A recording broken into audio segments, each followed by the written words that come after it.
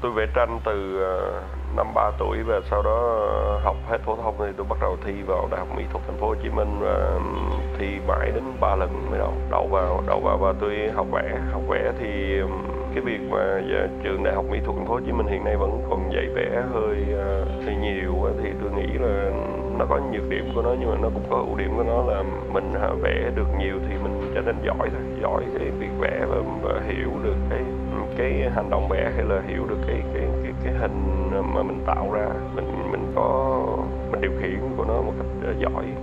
Nhưng mà để ờ, để tác phẩm vẽ trở nên sâu sắc hơn thì rất cần nhiều tri thức hay là để hiểu hơn về cái chủ đề đề đó thì hay đào sâu nó. Và đặt câu hỏi như thế nào đó thì là một cái kỹ năng mà tôi hoàn toàn tự học từ internet, từ ờ, những cái lưu trú như là ở Science Lab và ừ, những cái giao tiếp mà với những nghệ sĩ hay creator mà tôi có có dịp gặp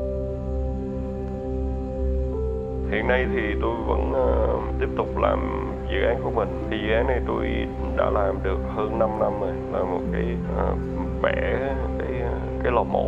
Thì ban đầu thì uh, năm 2013 thì tôi tôi làm một cái bài tốt nghiệp đại học mỹ thuật thành phố Hồ Chí Minh đó, thì là tôi về cái cái uh, sắp thật từ năm 2010 cho đến 2010 ít um, từ à, 2011 cho đến 2012 là thì là đó là cái bài tốt nghiệp đại học. Khi uh, à, tôi vẽ một cái sắp thịt ở ngoài chợ thì cái đó cảnh bán thịt ở một cái chợ tạm.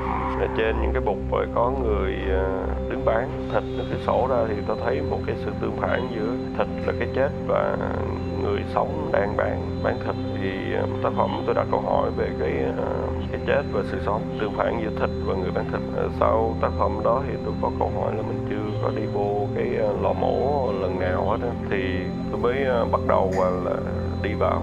Đi vào thì à, năm 23 tôi bắt đầu đi vào lò mổ thì tôi mới bị thu hút bởi cái cái bạo lực cái vẻ đẹp trộn lẫn trong đó. Thì từ năm 2003 đến giờ thì tôi bắt đầu là, là, là vẽ những cái tác phẩm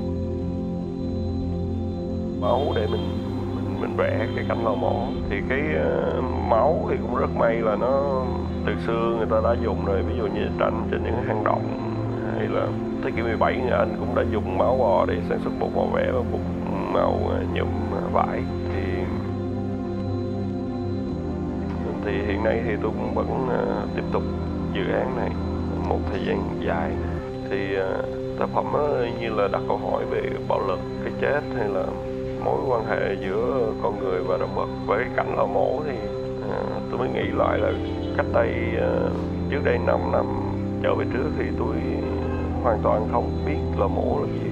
Nhưng mà sau khi 5 năm tôi nghiên cứu cái đề tài này tôi mới hình dung ra à, lò mổ nó là như thế. Nó là một cái phần của cuộc sống mà thường ngày tôi không hề, thấy được. Tại vì nó diễn ra vào đêm khuya từ thường thì là từ 11 giờ khuya đến 5 giờ sáng.